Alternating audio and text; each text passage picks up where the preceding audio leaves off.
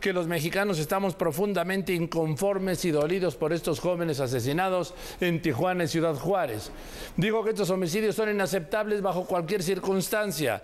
El rector de la UNAM aseguró que por ello México tiene que trabajar para transformar esta realidad.